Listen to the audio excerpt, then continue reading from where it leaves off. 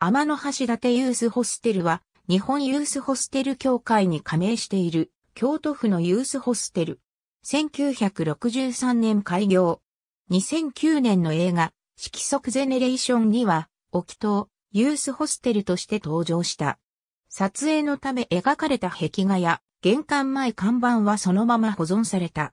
2013年には、天の橋立が、ミシュランに掲載され、外国人観光客が急増した。この年、天の橋立ユースホステルを利用した外国人は535人と前年より33%増加した。2016年4月からはインターナショナルナイトを月2回設定し、地元住民が外国人利用者と交流する機会を設けている。鉄筋コンクリート平屋建て。客室は派室で和室と洋室がある。AB、海と空を結ぶ、緑の架け橋単語の自然と人が旅の喜びにつながる、天の橋立ユースホステル、ホステリングマガジン第17号、2019年、12ページ。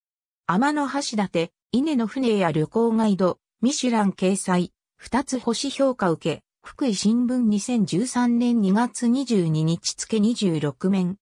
天の橋立外国人観光客が急増をミシュラン。朝日新聞2013年5月26日付、大阪本社長官35面。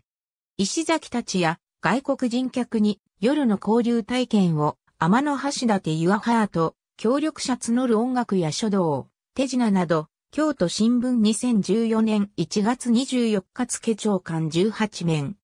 三鼓慎太郎、外国人客増交流の場に天の橋立ユアハート宿泊過去最高今春から月2回英会話も弾み、京都新聞2016年6月29日付20面。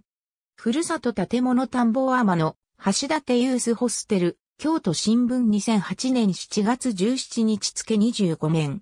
ありがとうございます。